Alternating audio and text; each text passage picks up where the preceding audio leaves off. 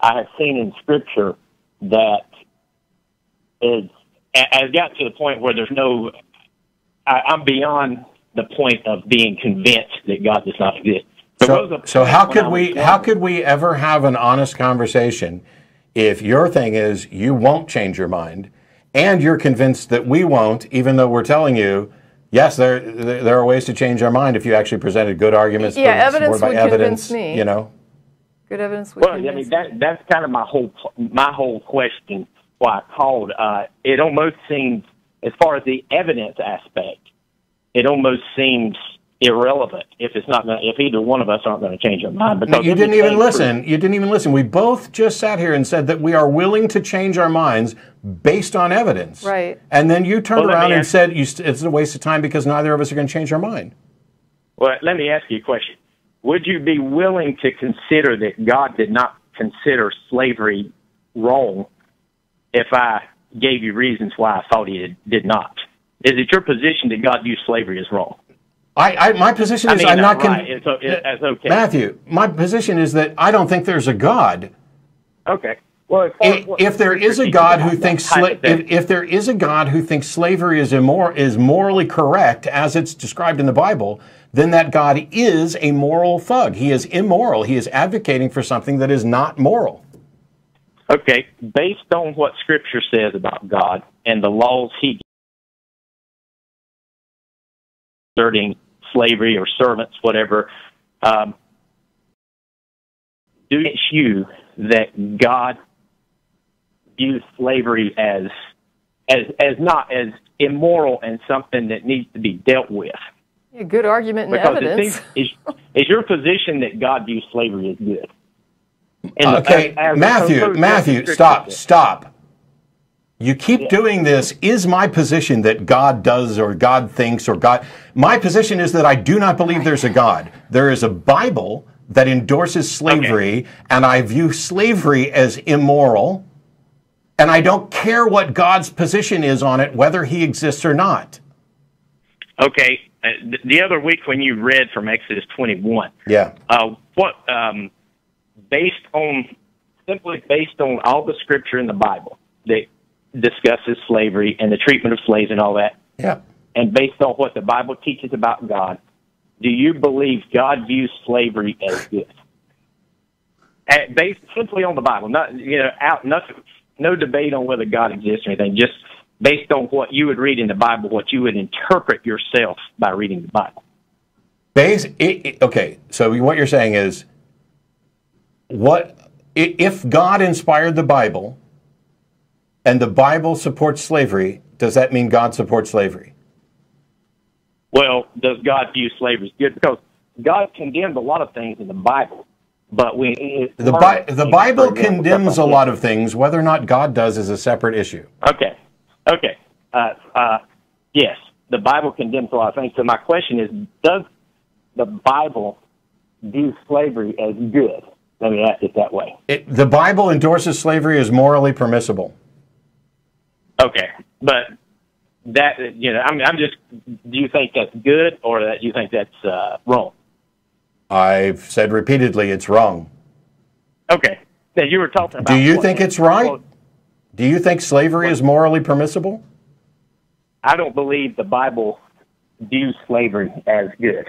I believe the Bible views slavery as as something that humans naturally do to themselves, and the Bible puts laws in there to restrict people from mistreating each other. Okay, so That's you you think the God of the universe can tell you not to eat shellfish because that's immoral, but he's too weak to tell you to stop owning people as property and beating them. and beating them Well, and passing do them on as property to your children? you agree slavery is oppression and mistreatment, correct?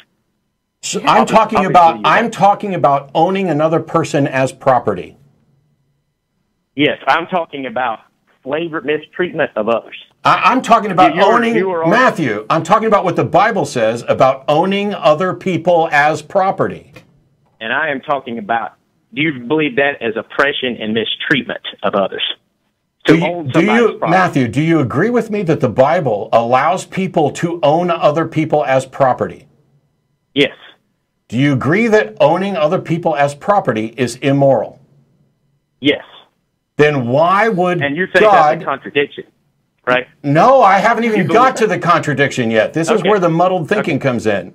You agree the Bible in- allows for the owning of people as property, and you Mhm. and you agree that God inspired the Bible, Yes.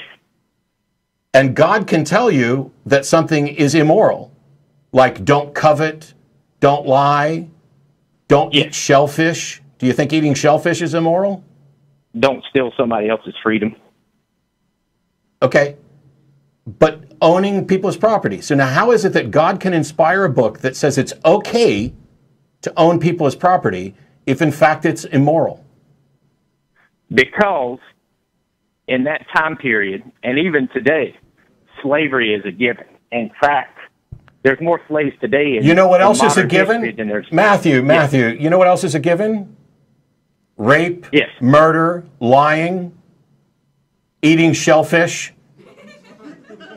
All Well, of those actually- things all of those things are a given about human nature, right? yes, to respond to eating shellfish part, remember in, in the New Testament, Christ did say that what goes into a man is not what makes him unclean. Right. So And thank you for pointing out. Th- thanks for pointing out that Jesus was able to update one thing that got wrong in the Old Testament. Does Jesus ever say slavery is wrong? But Jesus actually fulfilled the Does whole- Jesus Old ever say slavery is wrong? Yes. Where? When he when when they say do not oppress, when Jesus said That's love not- your neighbor as yourself. No. See, you're you're using love an enemy. you're using. yourself. Okay. Maybe the slaves aren't my enemy, and maybe I'm not hurting them, but I still own them as property. Does Jesus ever say it's wrong to own people as property?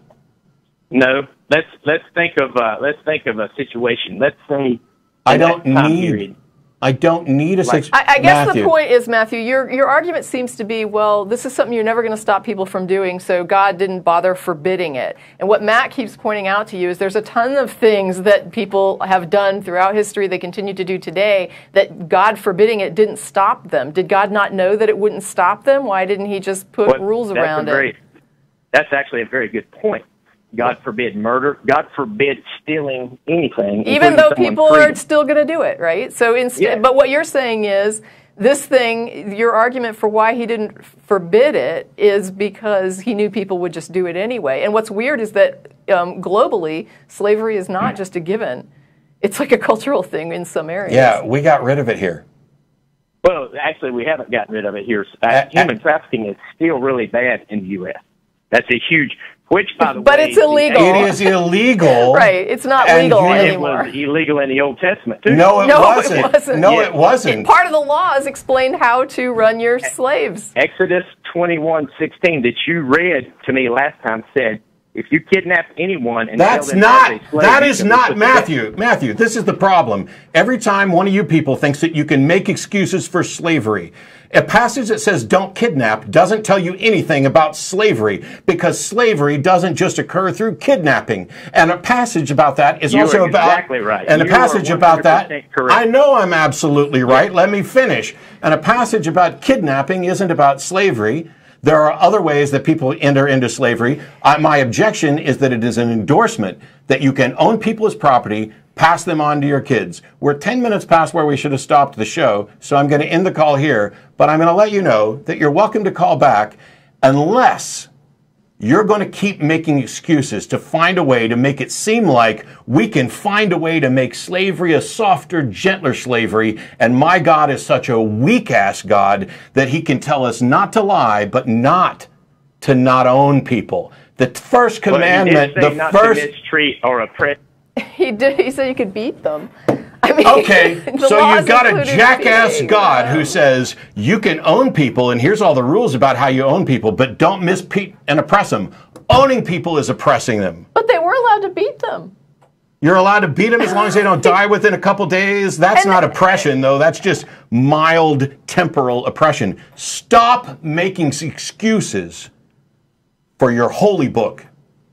It is an abomination. It encourages abominations. And the more you sacrifice your humanity and your morality to make excuses and try to make it look like, well, God really wanted people to love each other, but they just wouldn't. So he wanted to nudge them in the right direction by saying, you can own people, but just don't beat them too damn much.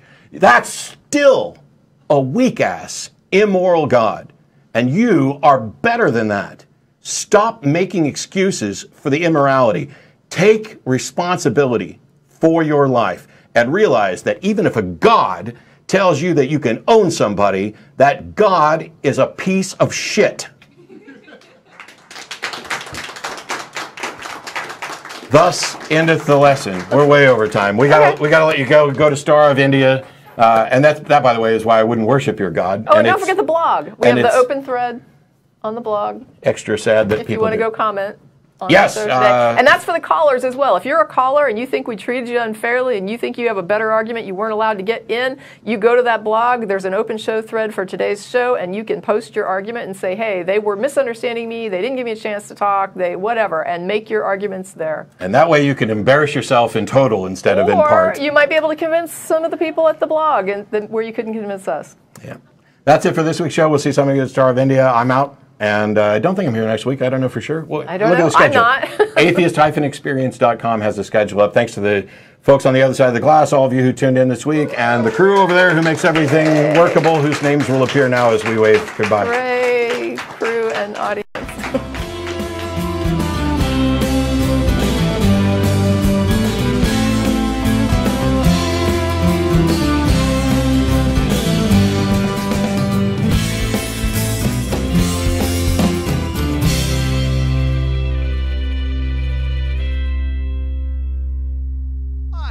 Russell Glasser, host of The Atheist Experience.